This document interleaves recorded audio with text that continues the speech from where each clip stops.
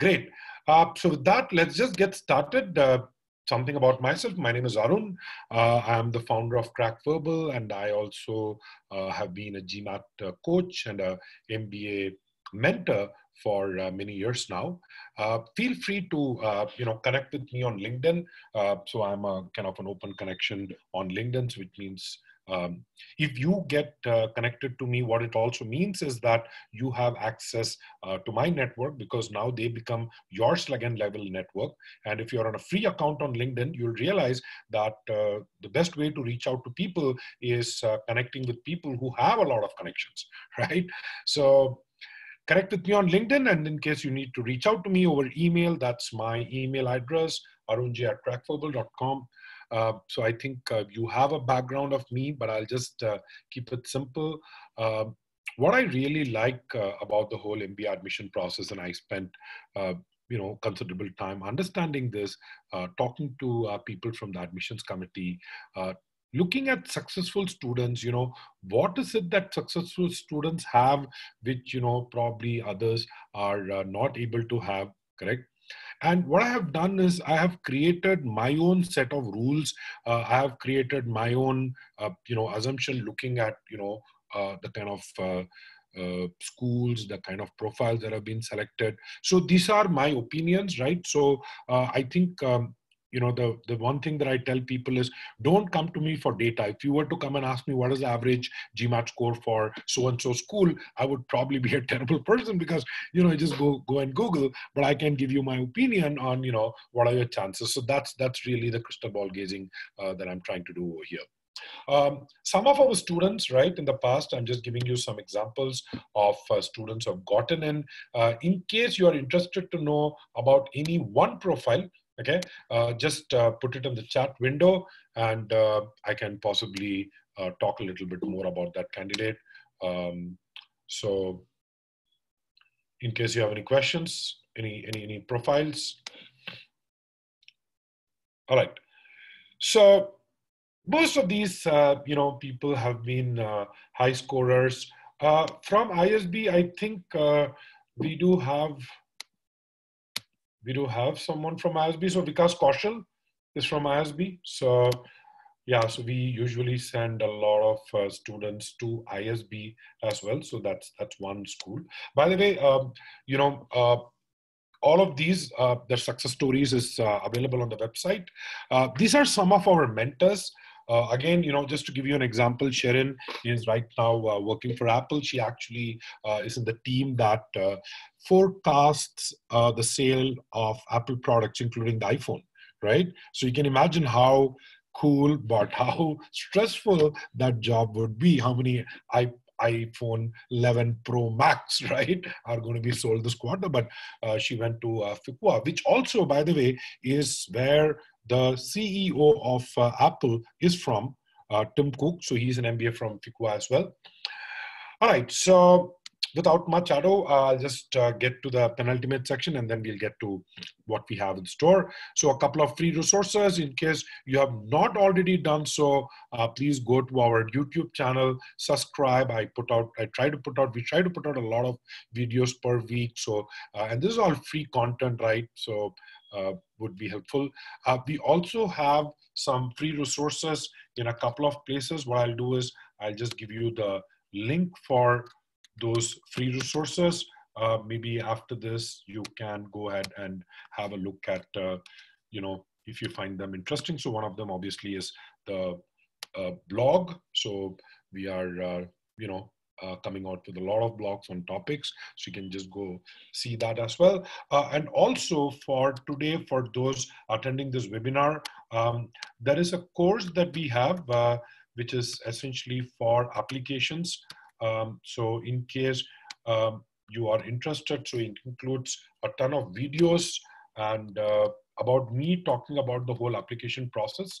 And uh, we are offering it at uh, $1 today just uh, apply the coupon code crack mba 2019 right okay so let's start with what we have so i have a question for you and i want you to uh, i hope all of you sitting maybe with a paper and a pen in hand uh, and i just want you to be reflective, right? So whatever I'm going to tell you today, I will tell you, I will not try to tell you uh, things. I just want you to think, correct? Rather than me uh, reading out from slides, correct?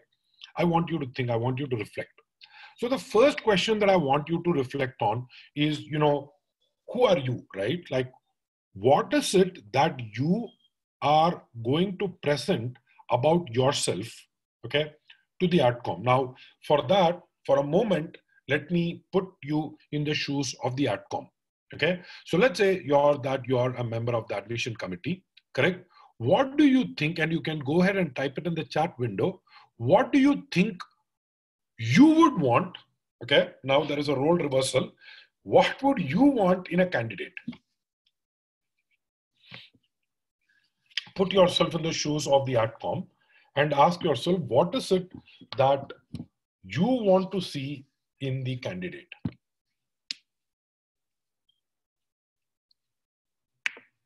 And whatever. All right, so someone said a complete package. Okay. Uh, Pratik says leadership. All right. Okay, go ahead. Again, whatever comes to your mind, whatever you think, versatility, okay, interesting, leader, motivator, thinker, to analyze whether the candidate is best suited for the course and can bring something new, personal and professional achievements, strong reasoning, logical skills. First of all, the intent and seriousness, passionate and hungry. You know what? I like that word. So, what you're telling me in short is uh, this, right?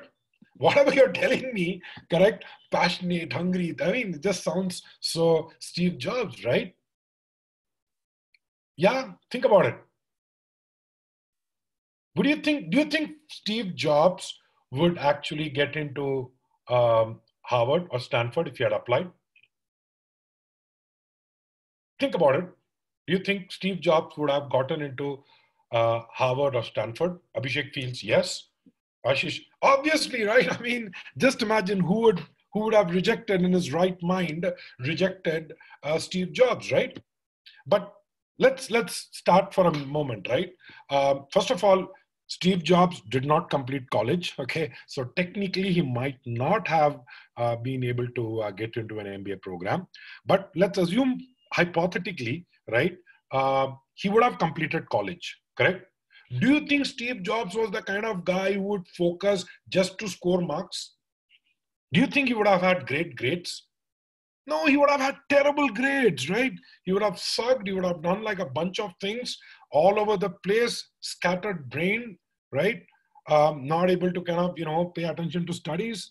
And just imagine, right? GMAT. I'm pretty sure Steve Jobs would look at sentence correction questions and say, you know what? I'm going to define the new standard of grammar.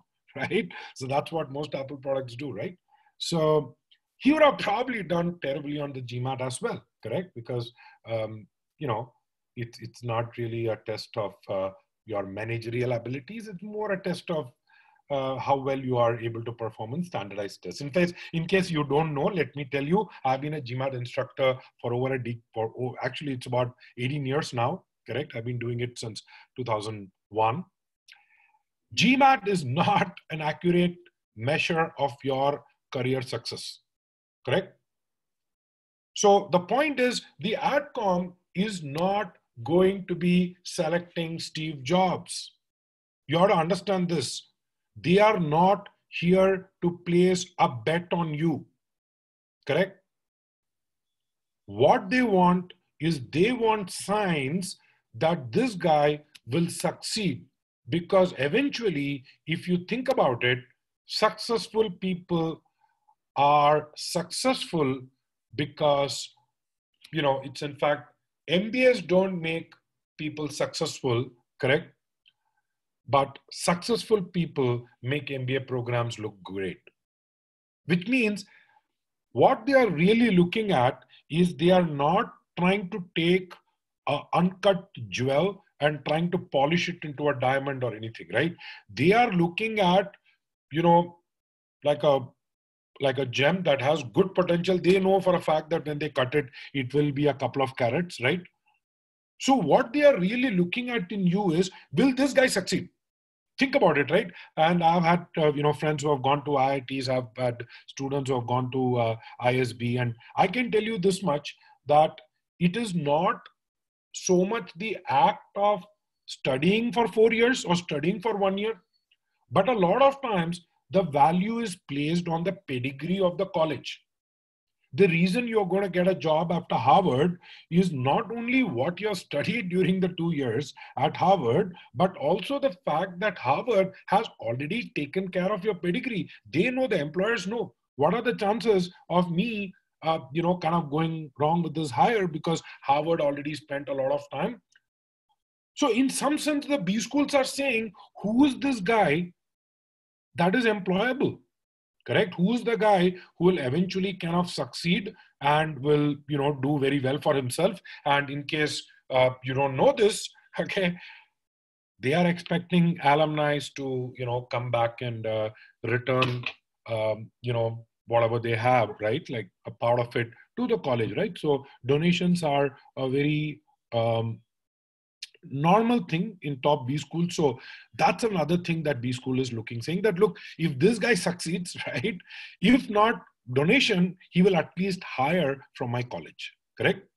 So all B schools have this vested interest of looking at people who already have the traits. Correct? Now the idea is you need to tell what are the traits that a B school is going to pick. I got good news for you I think, and this is again where my judgment comes into play, there are probably six factors, five, five to six factors that can really change. And these are the six factors that I would like you to worry about when you're writing your whole MBA application. Okay. And one last thing, which is don't expect them to be perfect. Okay. So a lot of times what happens is we suffer from this uh, uh, particular syndrome uh, and you can actually Google for it. It's called imposter syndrome, where we always feel that others are better than us. Correct? Like when you are applying to a B school, you'll say, "Man, I got like a 730, but you know, guess what? I know uh, someone with 760 who's also applied." So in your mind, you're thinking you're, you know, less. Uh, you have less, you know, chances of getting in. But really, not true. Okay, not true it's it's about how you tell your story. See what happens is all this gmat and you know everything else. See these are all elimination criteria. They are not selection criteria. Now i'll tell you the difference. Elimination criteria is a criteria by which i can tell that if you don't meet this minimum requirement correct i'm not even going to be looking into your application think of it as a security guard sitting outside the office correct? You have passed him instructions that hey let only people who have above 700 come inside correct?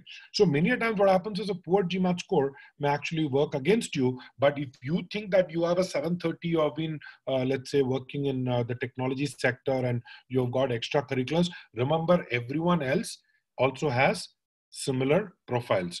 What matters is how you tell your story right?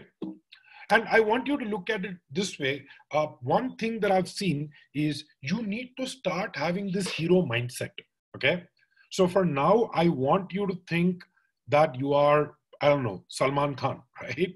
Or, um, you know, your Alia Bhatt or whoever else you want to be. You need to say, I'm the hero, right? I'm, I'm kind of like, I have to project myself. So think about it this way your life is the movie. Okay and what they are asking for is a trailer. They are saying, please tell me, okay, in let's say, you know, two to three minutes, what you're all about. Okay. See, if a movie like Bahubali can have a trailer, correct? So just imagine they condense that entire movie into like a two, three minute clip. But what they did is they just told you one or two things. That's it. Rest of it you will see when you see the movie. Similarly, when we go in front of the admission committee and we want to be the hero, we have to have what I call as a hero mindset, which means pick one superpower, maybe two. Okay. The mistake that I see people doing is they will say, I'm hardworking, I'm diligent, I'm this and that. They tell too many things to the AdCom. They're like, you know what?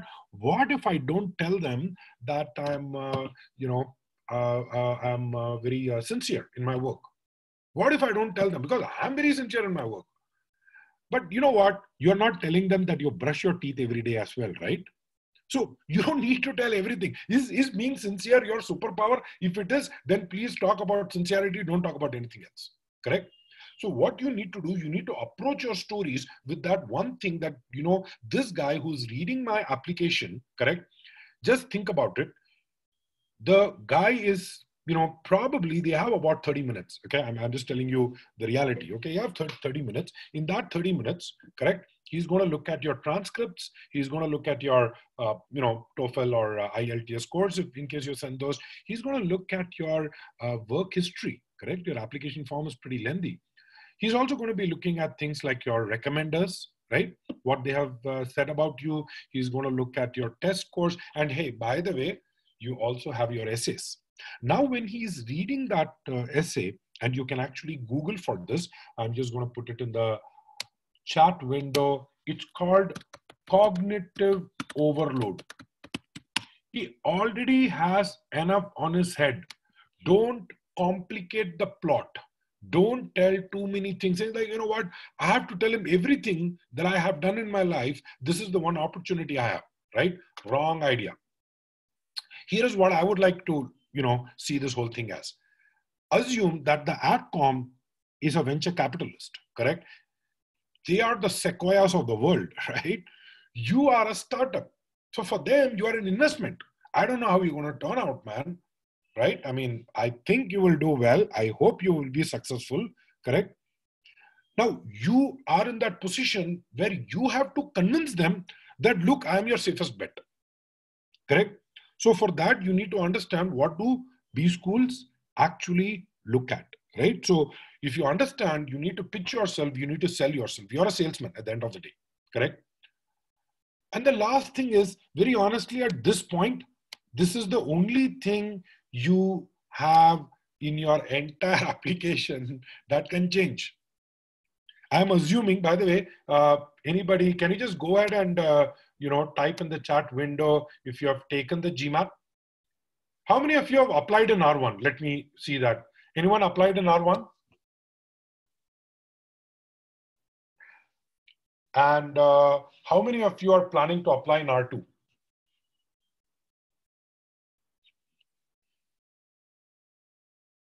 right? Okay, so we see a lot of R2 applying uh, candidates looking at R2, great.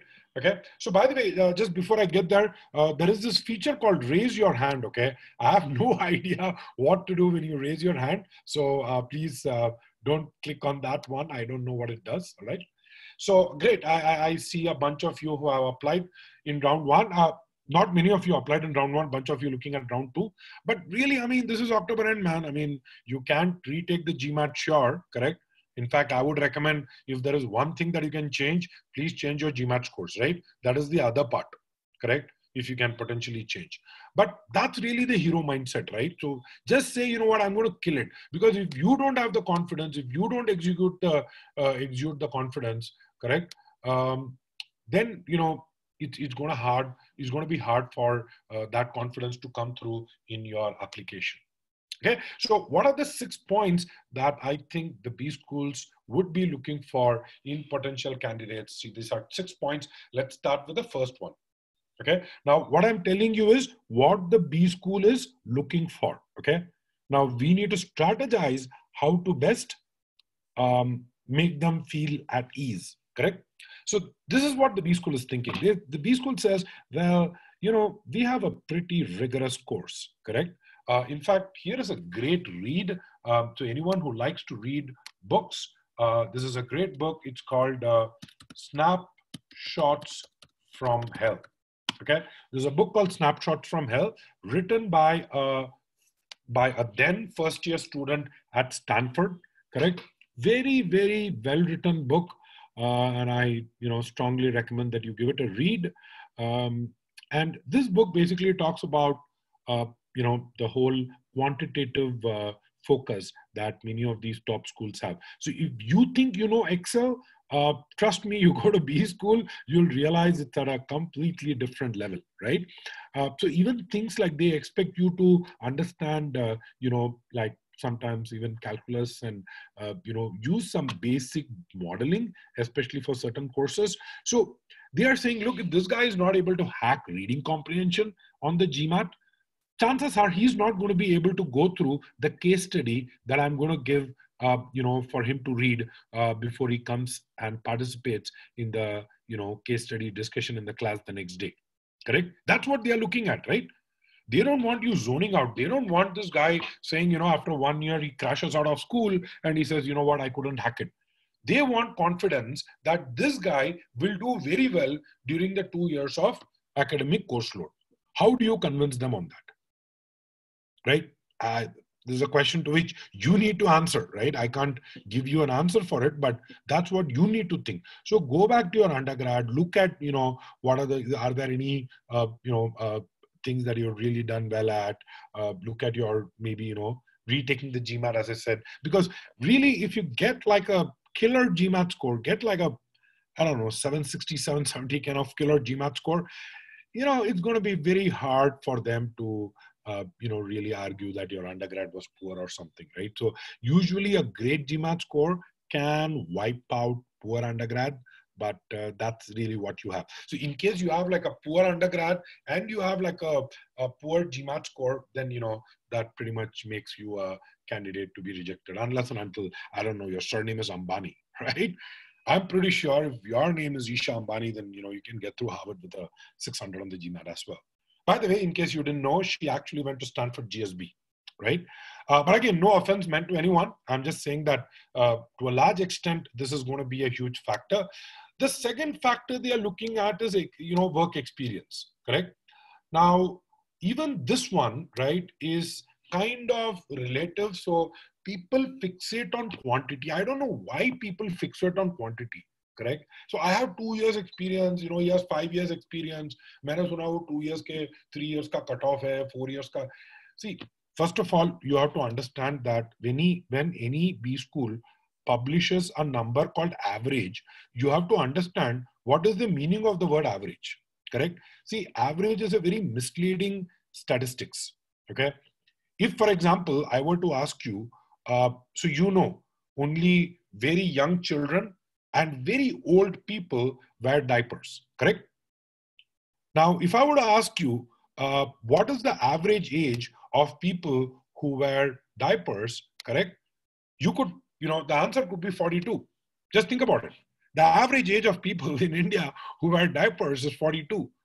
Maybe no 42 year old is wearing a diaper, but there are enough 70, 80 year olds and, you know, enough, uh, let's say, uh, kids below two who still wear a diaper. So average works out that way. So please don't see this five years average, four years average. It's a general sense of how the class would be composed. But what I have seen colleges are willing to take bets on people who have lower years of experience, right? They are saying, I'm okay, even if this guy has not done much, but he's showing potential, correct? He's showing potential. I gave you, uh, you know, a set of students. If you remember, uh, there was this uh, name called Raviraj Jain, correct? Who went to Harvard. So if you think about it, Raviraj had two years experience when he went in, correct? But brilliant, right? IIT Bombay started, you know, something on his own, uh, you know, on the side, got some kind of initial fund, all of this while working full time in AT Kearney as a consultant, right? Uh, brilliant, man. I mean, he took the CAT, he cracked it, and he just got the CAT scorecard, you know, just to say that, look, if I want, I can get into any of the IIMs, but, you know, I'm really gunning for a top US school. So uh, people are looking at uh, younger and younger candidates. On the other hand, right, um, people who have substantial experience, you know, if you have a valid story, if you have a genuine reason for why you think an MBA now makes perfect sense for you, please go ahead and tell them that story correct see i'll tell you what happens with people with a lot of years experience especially uh, people with let's say 10 15 years experience many a times what happens in the corporate world is that there is like this pyramid right? You understand corporate is a pyramid structure. And uh, people cannot you know when they start their career it's easy for you to pluck the low hanging fruits right? And then they get to middle management and at middle management what they realize is that it's harder for them to crack the the next level right? And uh, you know and a lot of times i think you know people say oh i'm not able to crack to the next level. You know i'll go and do an mba and somehow mba will magically kind of uh, take me from uh, my level and push me to a couple of levels above me right?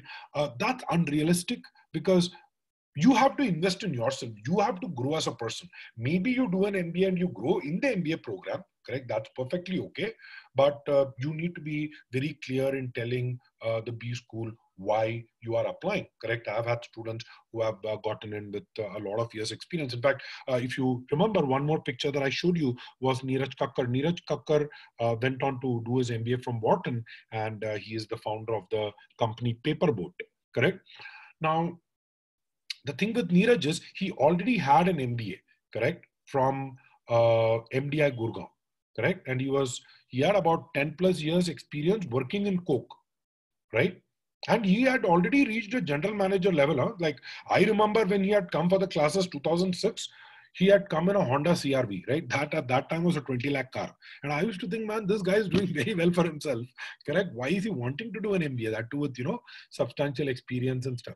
But just think about it, right? He he kind of catapulted himself to like maybe another level that wouldn't have had uh, happened if he had not gone to Wharton, right? That's where he went to do his MBA. Now, why am I telling you all this? The reason I'm telling you all this is because, you know, you have to show them uh, your quality. You have to tell them what you bring to the table. Correct. You need to talk about uh, the the the you know richness of your experience, right? Rather than I would be super impressed by a guy who says, you know, I have like two years of experience, you know, coding, but you know, guess what? I'm one of the leading uh, you know coders in my company for AI or ML right? Uh, and i really understand technology because you know these are the kind of guys that uh, companies need with the management degree to figure out the business aspect of technology correct? So they want people with technology background otherwise you can't come from a humanities background and you know crack this kind of stuff. So work experience quality quality quality okay? Don't don't stress too much on quantity. Try to convince on them.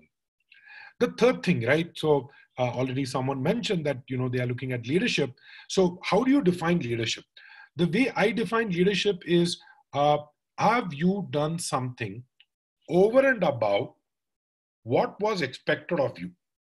This can be at work. This can be in your personal life. Tell me something. So i'll tell you a couple of things that people have written successful candidates had written right uh, in order to do this uh, thing. So leadership so I'll give you a couple of examples, right? And the reason I'm giving you those examples is because you need to start understanding that leadership can come in different flavors.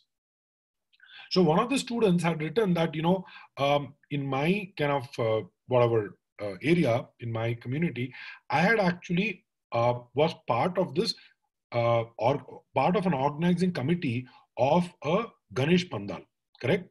So he said this Ganesh Pandal basically, you know, he said I, I learned everything about management in that one week.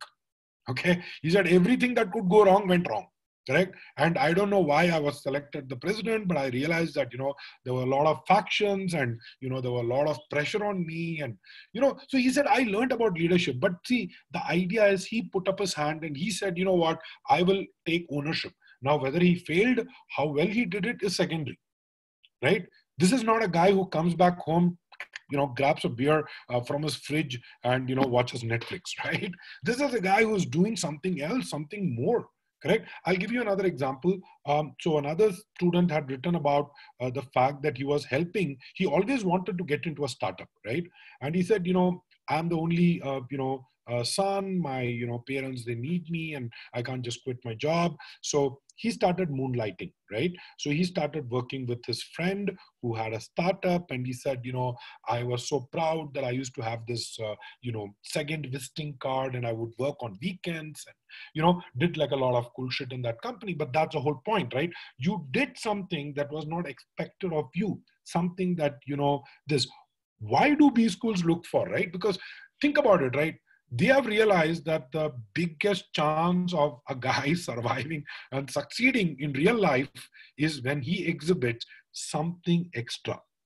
Any leader that you think at work, in your personal life, think about it, he will always have that some extra, some X factor, correct? and uh, that that's really what they are looking at right is this guy is going to come to a b school and one more thing okay b schools a lot of them people don't realize is that all these clubs and committees that you see on the website okay don't expect to go there and say okay where is the consulting club? I would like to talk to people there. You have to actually run the clubs right? So it's completely student run. So what happens then? A guy is going to come he's going to say, well, I'm going to chill, you know, for the next two years. And uh, he's really going to burden everyone else in the class because he's not pulling his weight, correct?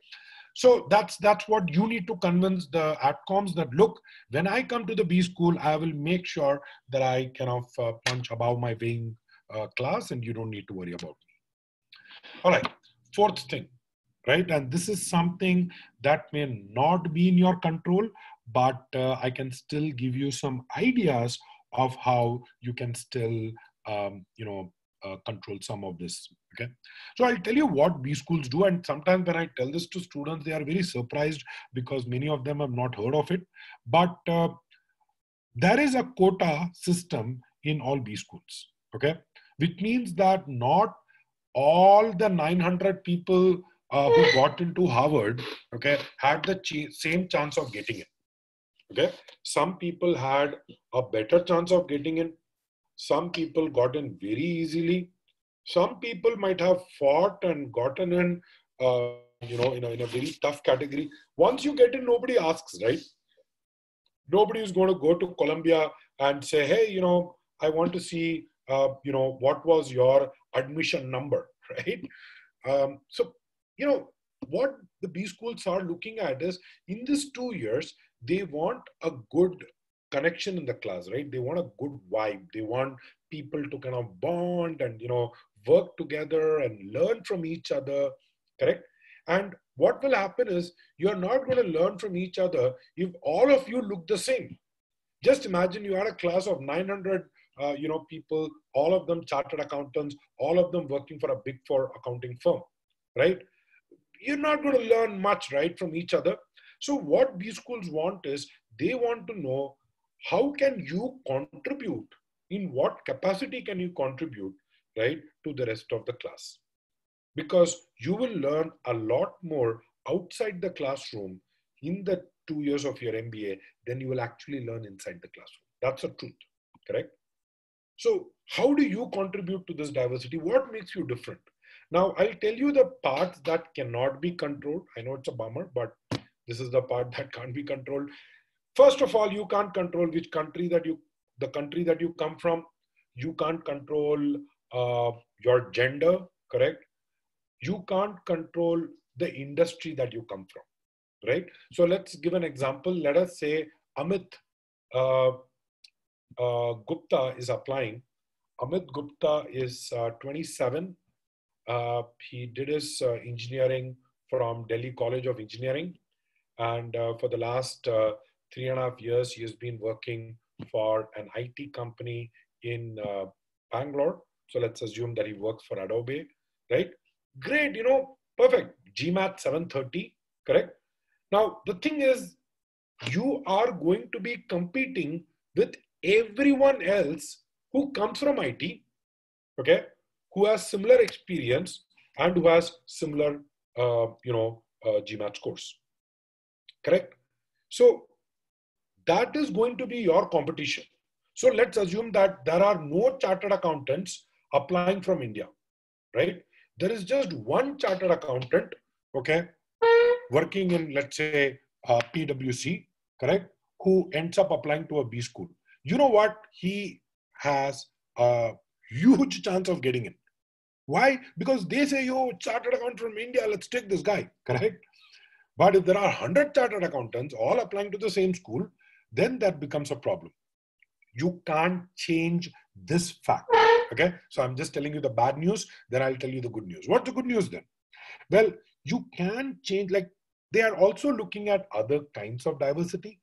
so if it is not a demographic diversity, can you get a psychographic, uh, you know, uh, kind of uh, uh, diversity? What I mean to say is, you can't change the other parts but maybe there is something about you that uh, you think uh, could be very unique. In fact uh, i'll just give you a couple of examples again over here correct? Uh, so one of uh, my students had come from a vernacular uh, you know school and till about you know 10th 11th standard he was actually studying um, his native place back in andhra pradesh. And it so happened that in 11th, he came to Hyderabad to study he was put in an English medium school and he was preparing for the IIT. And he said, you know, the two years I was bullied, I stayed away from home. And, you know, that was a very, very difficult time. And, you know, I could have easily slipped into depression and, you know, but I took that as a challenge and I kind of overcame that. I went to college. He actually, you know, became the president of the college Toastmasters Club. So, you know, that's like a, you know, incredible story, right? But that's the kind of story that you need to project, right? So if you want to talk about another kind of diversity. I've had students who have come from uh, the LGBTQ community, right? And uh, you know, and they have said, right, you know, this is who I am, and uh, this is this makes me different. You know, growing up in India, growing up, you know, in such an environment, you know, how they felt about it. So, you know, they are looking at something that is different about you, correct? Uh, so just focus on the difference part, okay? And that's that's that's what I would like to say. Okay. Uh, fifth thing, they are looking at people who are self-aware, who have got a certain personality, correct? So what I mean by self-awareness is, in fact, I'll tell you, uh, very similar to what, you know, we spoke about in leadership, which is, you know, um, so I'll be taking all the questions in the end, okay? And if you have, please put it in the Q&A box, not in the chat window. I'll be taking the questions towards the end. So self-awareness, according to me, is a precursor for anything. I don't know if you have met people, but uh, I have met people who are so completely unaware of themselves, you know, they would have no filter in what they are talking, right? Being them with them is like a bore, correct? Uh, and you just have to endure these kind of people. And what these schools really want is they want people who have a certain personality, right? Who are self-aware. See, when I say personality, I don't want you to think of, you know, that they're looking at someone who has the personality and charisma of, you know, James Bond, right? That's not what they are looking at. But they are saying, can this this guy, why do you think they ask you about things like strengths and weaknesses, right? Because they're just looking at it. If you're going to say that your strength is that you're a hard worker, and your weakness is sometimes you work so hard that you kind of, you know, forget about uh, yourself. Okay, terrible. It tells me that you're not self-aware, correct? So they are looking at certain nuanced kind of, you know, uh, awareness aspects. In fact, I'll be talking about strengths and uh, weaknesses a little later. I have a slide on that. So ask yourself, how do I convince the B school? Remember, what is it that we are doing through this six point evaluation checklist? We are trying to convince the AdCom. We are trying to sell something to them, correct? I want you to remember the objective. So you need to sell to them that I am self-aware. I know who I am, correct? I know what I can contribute. I know I'm genuine. I'm authentic. I'm not a, I'm not a fake, right? How do they know that? Your essays. And if not your essays, they have a process called the interview, right? And, you know, I'll, I'll again give an example of how sometimes, you know, uh, things can go wrong in an interview. So um, I'll in fact give you one example of both. So I'll give you an example of uh, something that went right. Okay.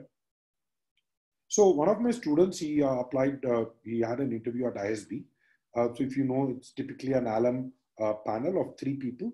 And he essentially ended up, you know, kind of taking this interview.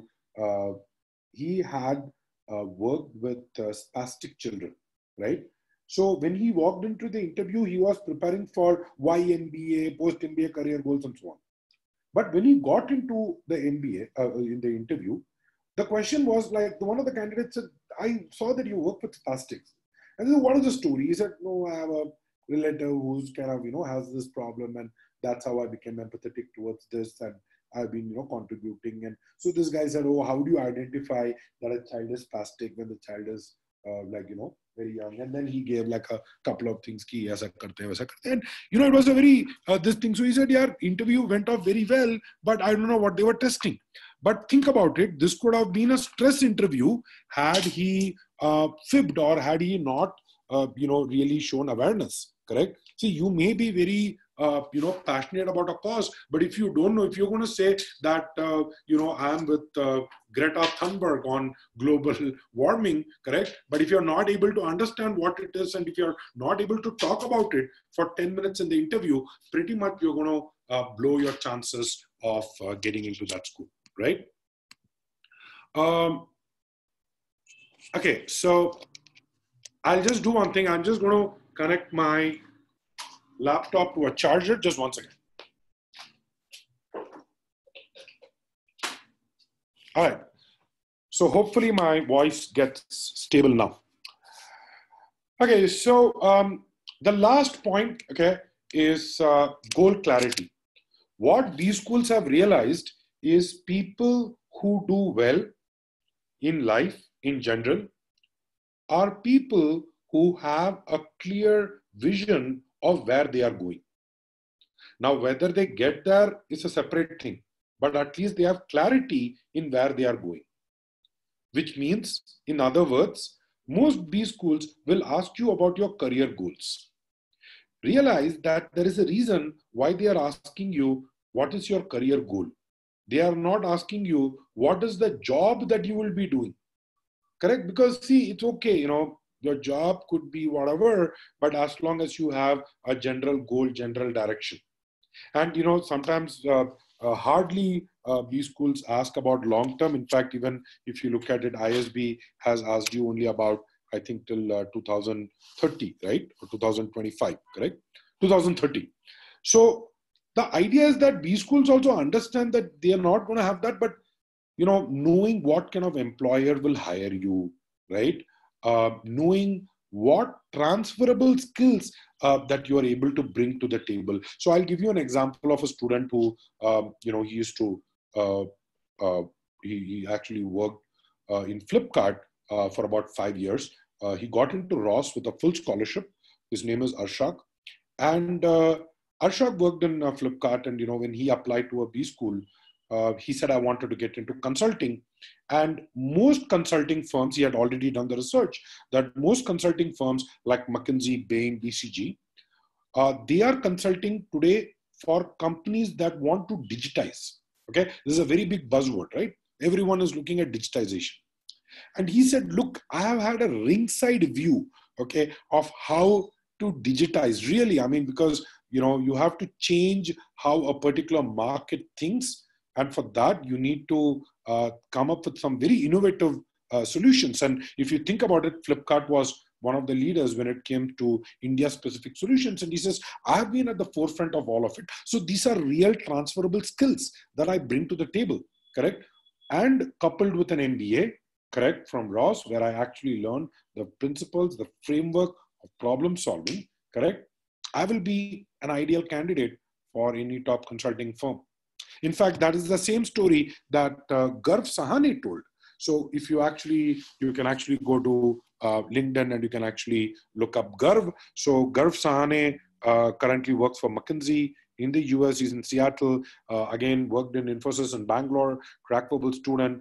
Ended up doing his MBA from Ross uh, and ended up becoming a consultant all of them you know they have a very clear see most times what happens people will just go and write this i want to be a consultant without really thinking through without understanding right what are the transferable skills? Why are you best suited for that job? Again what are we doing? We are trying to convince the AdCom that you have what it takes to get to that goal right? Is your application actually focusing on convincing the AdCom about that right? So at this point i'm going to just pause.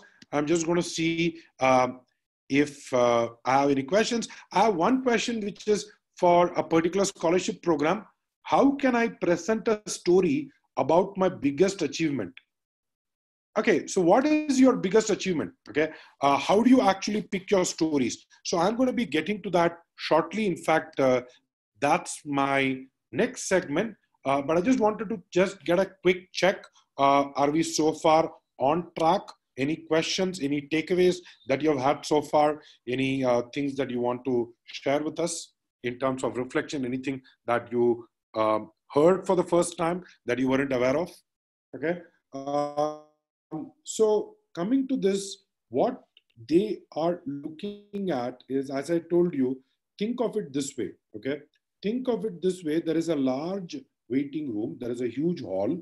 Everyone who has applied to the B school is basically entering through that hall. Now, what the you know the ADCOM is doing is there are these smaller rooms. Okay, so there is a central large foyer, and there are these smaller rooms, and uh, there is a person saying, "Acha, what's your background?" You say, "I'm uh, you know in technology." Five years experience, 720 GMAT. He says, Sir, please go to room number three Second person comes, she says, I'm a female applicant.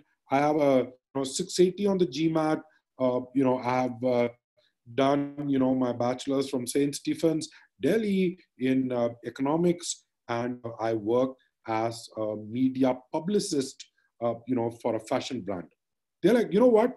You need to go into another room, correct? Because you seem to be different than you know others so why don't you get into that room so what they are really doing is they are filtering people into different rooms think of this way correct um, and now that you are inside this uh, you know uh, room you need to now convince that look there are already 15 people around you. Okay? All 15 people have very similar experience.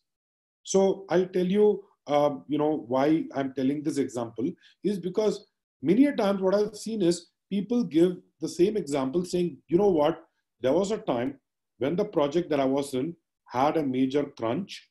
Uh, my manager also ended up leaving. Uh, I had to step up and I stepped up the plate and I uh, delivered on time, under budget. I got an award from HR for it. And this is my achievement.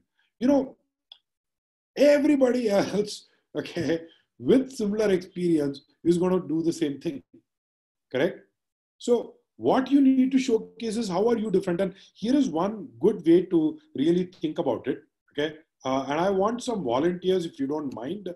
Um, if uh, someone can tell me, um, just tell me your undergraduate college, number of years of experience, your current employer, and your GMAT score. So your undergrad, number of years of experience, current company, GMAT score. All right. So, okay. So I, am going to pick, I'm going to pick uh, Ashish. Okay. Uh, Ashish or anybody who's put all the, okay. So I'm going to pick uh, Lakshmi Narayan. Okay. So Lakshmi Narayan you are going to compete, okay? So I'm just going to give it over here. So Ganesh, this is just like a small uh, example. Here is how all of it, see, I, I'm not getting into how you will differentiate further. And it is not even about your profile, correct? For example, I'm going to now give another example uh, that we had from Digvijay. Um, so you know, look at it, BSc, MSc, MA, but 20 years Indian Navy, correct? Now, the moment you see Indian Navy, 20 years, very different profile, correct? So now what is going to happen is people are going to say, how many defense people from India, okay, uh, will end up, you know, kind of applying to, uh, you know, at school.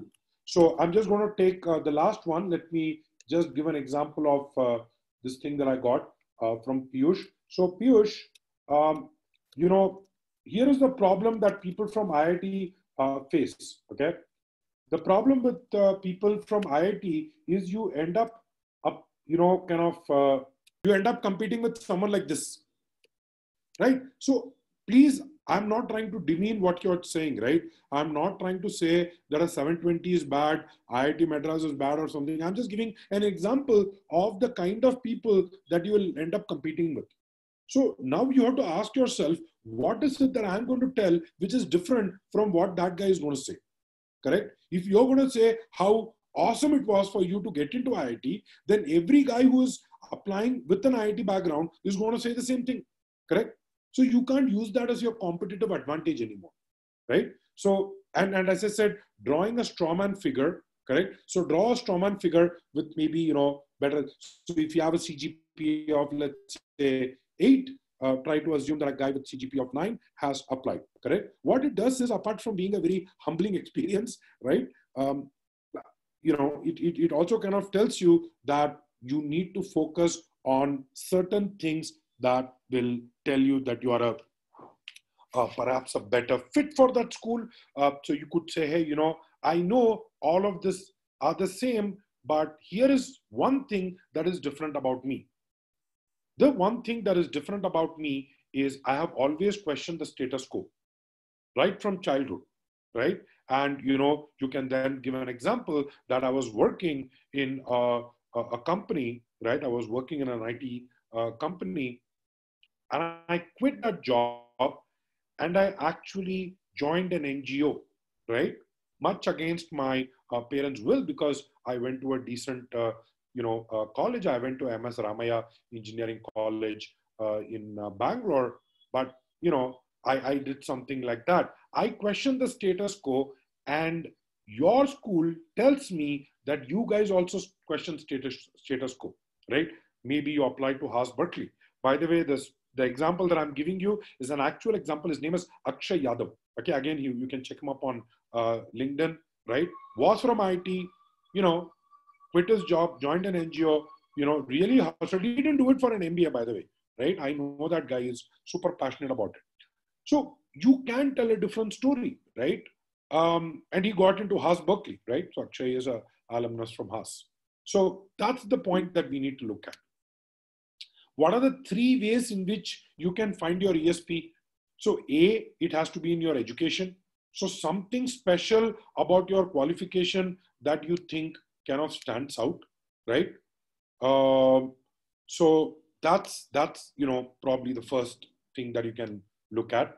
Look at your experience. Is there anything unique in your experience that you can highlight, that you can showcase? Correct. And look at your extracurriculars. They are looking at one spike. They are not looking at a guy who's going to be 10 on 10 in all the three areas. They are very clear. They know they are not going to get that guy. So they are saying, I want one 9 out of 10. Even if the other two are like 7 or 8, I'm okay. Get me 1 9 or 1 10. The question is now to you. What do you think is your USP? And the thing is, and I'm, I'm sorry again, my intention is not here to make you feel bad or uh, you know make you feel less worthy. Uh, as I told you, B school admission is a flawed process in itself. I'm just telling you how the system works. And I'm just telling you what are the ways in which you can beat the system, correct, in some sense.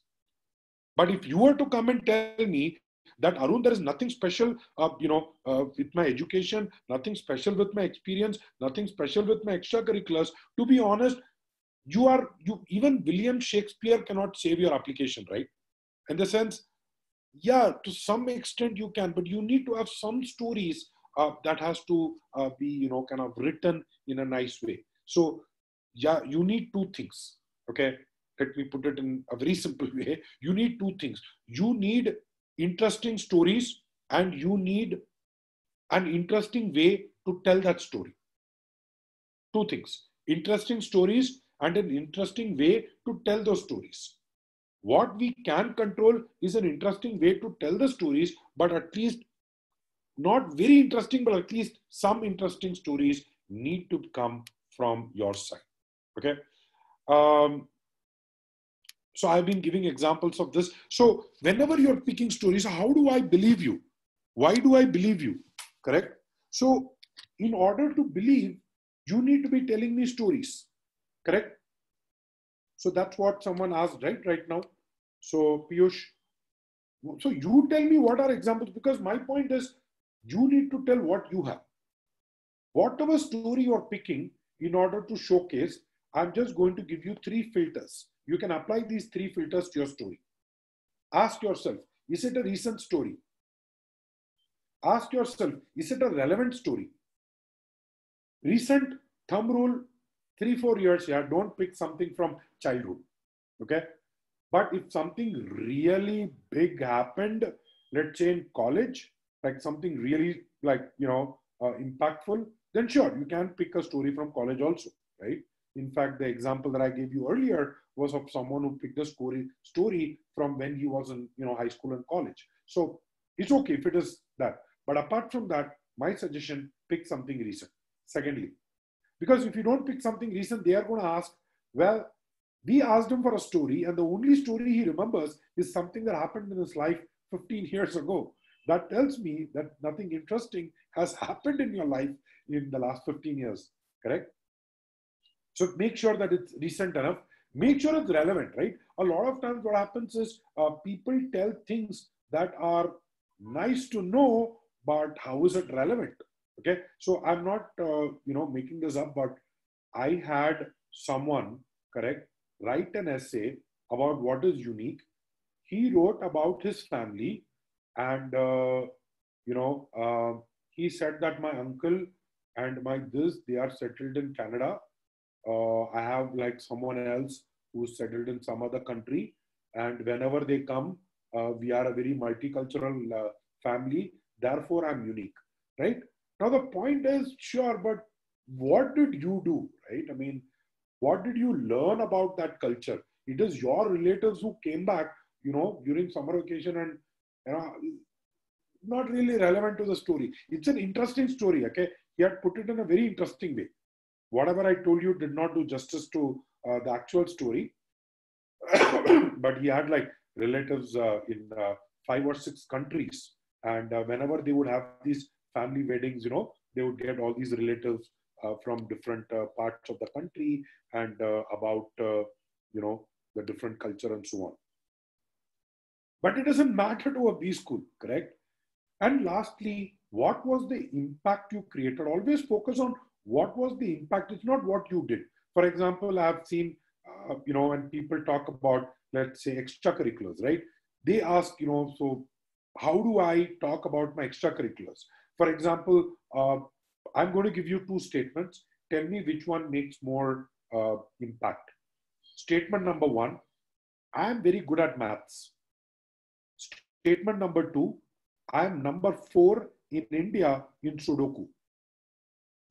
Well, obviously it's statement number two, because when you say you're good at math, right, it doesn't really mean anything, correct? But when you say you're number four in India in Sudoku, you are actually telling me the impact. For example, if you say that I was part of a NGO and we collected money, I would like to know how much you collected, or I would like to know uh, what systems did you build. Correct? Did you build a new website for them? What did that you know increase the traffic? Did it benefit them? I'm looking at the uh, you know impacts. Okay, and how do you actually pick? I know a lot of you are like scratching your head thinking, what is the best way? the best way is to start with a mind map. So what I have over here is a very simple mind map. We have a you know person called Rohit. So Rohit, I'm going to take one step at a time. Let us look at uh, his academics. Uh, he has a GMAT score. It's kind of lowish. It's about 700. He thinks it's low at 700, but uh, that's what it is. Uh, he's a chartered accountant. He's all India ranked top 100, cleared in this first attempt. He is very proud of it. So that's the second data point. Uh, he also wants to talk about one more thing, which is when he was doing his BCom, uh, he actually did his articleship for his uh, chartered accountancy. Therefore, he doesn't have a lot of extracurriculars to show for in college. In fact, you know, he hardly attended college. now, this is your academics part. Now, I want you to think are there any stories here? Is there anything that you would like to think of that you could talk about? Now, there are multiple ways to do it, right? For example, he could have spoken about how hard it was for him to actually, you know, get into the top 100 in his first attempt, correct? While he was, you know, doing this articleship and, you know, how, you know, he has never, he's kind of never enjoyed, you know, that, that kind of this. He's already always been working 18 hours a day. So he's from Mumbai. So, you know, the travel and everything. So he wants to showcase that and, you know, say that, you know, uh, maybe that's something that tells me, tells something different about me. Look at extracurriculars. So he knows a little bit of German, right? He is at a B1 level, uh, which is kind of decent, right? He can speak in German and, uh, you know, that's an asset he has. Uh, does it merit an entire story? Perhaps not, but he's still toying through it. Um, he is slightly proficient in playing the guitar. Uh, he has a startup idea, but he's not very sure. So all these question marks that you see are like he's not sure. Then there is a personal background right? Uh, he's thinking, father was in the army, it taught me certain things. I used to shift houses every two years. That taught me, uh, you know, adaptability because every time I would go to a new place, I learned, you know, to fit in. I, he also had another story, which is his dad would always give him a trunk which was of the same size. And he said that every time, you know, I moved, I would accumulate new things, new toys, but I had only so much space. So I had to prioritize and decide what I had to take along with me and what I had to leave behind. And he said it's made a huge impact in, you know, uh, being an essentialist. So he actually has uh, a story around it, correct? He also toys about this. I had a breakup with my girlfriend. Uh, should I be putting that story because it was emotionally traumatic? I don't know whether B schools would want to listen to it, correct? Then he talks about his work experience. He's been working in Capgemini and Deloitte. Uh, so he kind of had these two experiences he wants to talk about in one and the, the other thing. So we don't know what it is. But I hope you're getting a sense of what I wanted to uh, you know tell you over here, which is you know try doing that. Uh, try to uh, you know put small post-it notes. Correct. So I'm a big fan of putting post-it notes and just you know putting one idea let it you know be there on the wall you know look at it think about it uh, think about how you're going to tell the story uh, and you know uh, that that that's a good place to start correct um, now any any questions piyush? Uh, please put it in the q&a box. Now uh, the last part of what i have to say which is how to present yourself right? How do you actually present yourself? So uh, the first is you know uh, there are a lot of frameworks, but uh, there is one uh, framework that I love for storytelling, and it's called the START framework. So, what happens in the START framework is whenever you want to talk about a particular incident, you want to talk about something that happened to you, you start off by giving them the situation. Correct? See, I'll, I'll give you an example. Let us say someone were to come and say, I was bought in as a CEO I fired 100 people. Company started making profits. I was successful. You know, I really don't know, man. Like, I mean, sure, but I would like to know more, correct? Why were you brought in? So the earlier CEO had failed and, you know, the company was running into losses. And I was brought in by the board with a clear mandate of turning the company profitable. What did I tell you? I gave you the situation. The task at hand was very clear. There were two areas in which I had to focus on. I had to focus on, you know, uh, option A and option B. Option A had, you know, thousand people being retrenched, and option uh, B had hundred people being retrenched, and there are, you know, trade-offs. Now you tell me what you did. Maybe you decided to go for option A, or you went for option B. Okay. What action did you take? Why did you take that action? Did you face any challenges? When you laid off people, did people protest? Did you take care of it in a humane way? Correct? Because at the end of the day, it's a matter of their livelihood. That is the action I want to know about. What were the results? Now that you did whatever you did, what was the result? Did the company become profitable? Correct? Were you recognized for it? And finally, and this is the most crucial part that I think a lot of times people miss out on, which is takeaways. What is your personal takeaway? What is it that you learned from this whole experience? Right? So that's what needs to come out very clearly in the story that you write. Okay? Um, so that's the start framework. Uh, one uh, point that I wanted to mention over here is again, while you're writing a story, you know, you can use a start framework. There is also this question on strengths and weaknesses, uh, and I want you to pick something that is. Uh, uh, so the whole idea is that you know that's really my weakness, and I can't do uh, anything much about it, right? So what I have to showcase is, look, this is my uh, weakness, but at the same time, I'm aware of my weakness. Okay. Don't say I've fixed my weakness. I have seen another thing when people talk about themselves, they say, Oh, by the way, I used to have this weakness that I would not plan very well, but I got a feedback from my boss. And once he gave that feedback, I started, you know, planning brilliantly. Now, though I get, uh, you know, uh, routine, uh, uh you know, things uh, like uh, praises from him on how well I, you know, plan.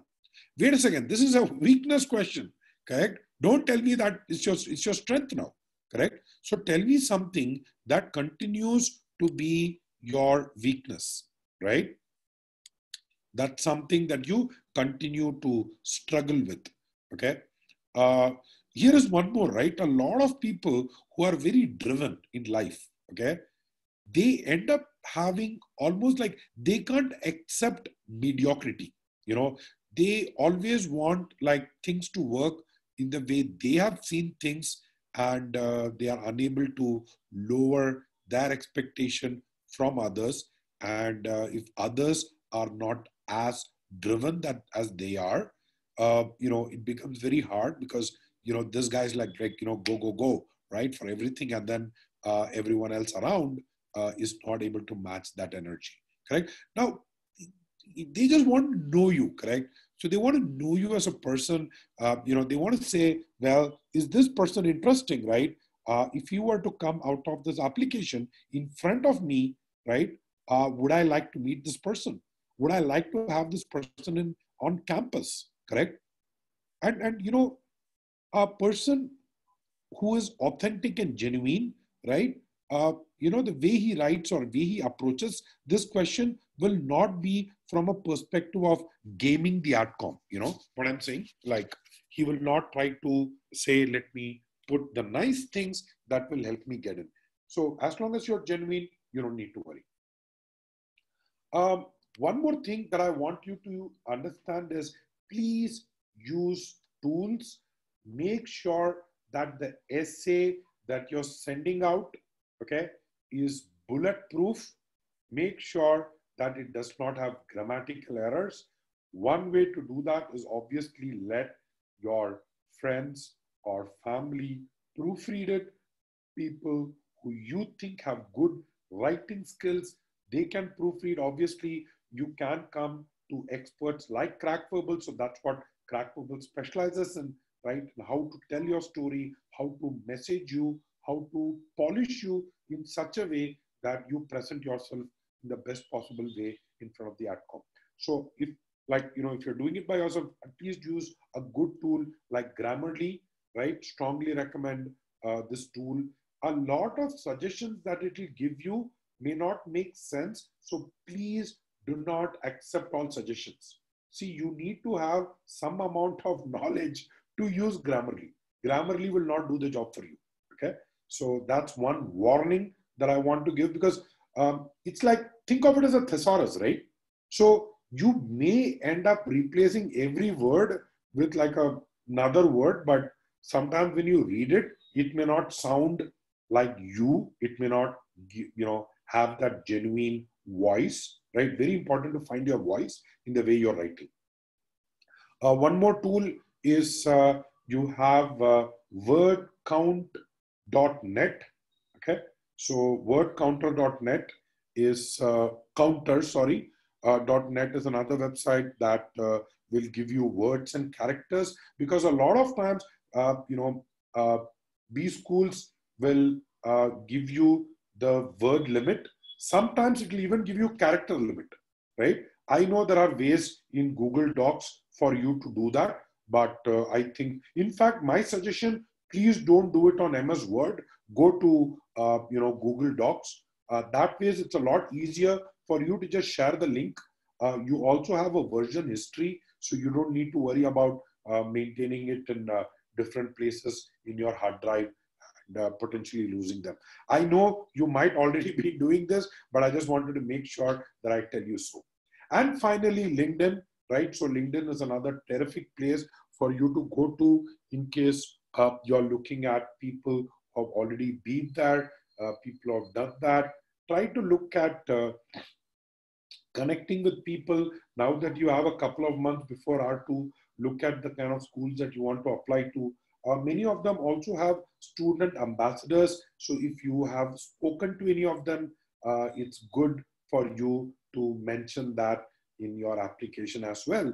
Uh, you know, especially uh, it shows that you have done your research. Again, going back to what I'm saying, the school says, does this guy even have an idea why he's applying to my school, right? I mean, he's sitting in India, right? I mean, what does he know about Cornell, right? So you're going to say, look, I, I may not have come to the US, I'm not have come to your campus, but here is what I have done in preparation. I actually reached out to a alum and, you know, uh, he's kind of in a geography, he's kind of in a position that I want to be in, correct? Uh, and I've spoken to him about my career prospects and he encouraged me to apply to Cornell. And I also ended up, uh, you know, talking to a current second year student who happens to be my college senior. And, you know, we have similar profiles. And I'm so, uh, this, what you're telling the B school is don't worry. Okay. There are other people who are like me. And if something happened to them, you have already helped them, uh, or rather, you have already made the decision of letting them in. I am very similar to them. Correct? So you have a better chance of succeeding with me also. That's what you're going to try telling the B school. All right. All right. So uh, what I'm going to do is uh, I'm going to just directly kind of uh, jump to this part, which is uh, in case you have not done so already, any questions that you would like to know about your profile, please let me know. Uh, I'll be, uh, we'll be glad to help you. We'll give you a custom report but more important is uh, make sure that you talk to someone uh, in the team. It could be Monica, Swati, Likesh, uh, all of these very experienced. They have worked uh, with us for many years. In fact, Likesh and I uh, started our journey together in CrackVerbal in 2011. So in case you're talking to any one of them, they have a you know a lot of experience because they have also worked. So make sure that you talk to them but we also give you access to our experts. So in case you have a GMAT score, uh, you know, uh, we will also be putting you in touch with our application experts uh, and we can probably have a more thorough uh, analysis. Without your GMAT scores, it'll become very hard. Um, so, but we can still guesstimate. But I think the best way is when you have a valid GMAT score. All right, so what I'm going to do is I'm going to be taking up uh, the questions that I have in the chat window. Okay. Uh, Pratik, please contact someone in the team uh, and I will try to see if I can just let someone else know tomorrow uh, to contact you. But just check your email for any email from CrackVerbal. Just reply to that email. Okay. I'm just going to get to uh, the questions. We have one person who asked, how does a B school look for a break in career? Great question. Uh, in case you have a break in your career, let's say you got laid off or you decided to quit your job, it's perfectly okay. First of all, please don't hide it. Don't try to create unnecessary drama over saying, oh, you know, this happened in that company, there was this politics and I couldn't take it, hence I quit. And then, you know, I decided not to work. I wanted to, you know, do something. Don't do all that. Yeah. Just tell them that, look, I was working in this company you know, whatever the company and people understand that people get laid off for no uh, mistake, correct? Um, the only thing is, if you're currently unemployed, then applying to a B school will become a problem, correct? Because the B school is thinking that, look, if this guy cannot find a job right now, okay, how will he find a job after he does an MBA? Correct? So that's one problem that B schools will have. So please don't apply to a B school as an unemployed you can have other creative ways of messaging your story. So I'll give you one way in which you could. So um, people can talk about a startup, right? So you started something on your own. which means, by the way, don't just say startup, okay? You want to kill yourself, you're going to say that. Because in the interview, they're going to ask you questions. Heck, do you even have a website? Correct? If I Google your startup and your name, what are the websites that come up? Correct? So they are going to do the research. But I'm just saying, try to be a little more creative. There are some um, you know options that we usually work with when we work with students, but that's about breaking your career. What should a pers- per person with an average profile do? Very honestly, as I told you, if you have an average profile, then you will go to an average college. I'm not trying to demean anyone, but I'm just saying if you have an average profile, there is no way you can get into Harvard. Correct? So, average is also a relative term. Other thing is, you may think you are average, but many a times when we work with students, we figure out there are so many facets, there are so many things in their profile that is different and that contributes to their overall uh, story. So you could be actually very surprised, uh, you know, that these schools uh, may, you know, actually tend to not worry too much. Okay. Uh, I have one more question. How can I justify my consistently bad grades? Very clear. Priyam has made it clear. Consistently bad. Okay.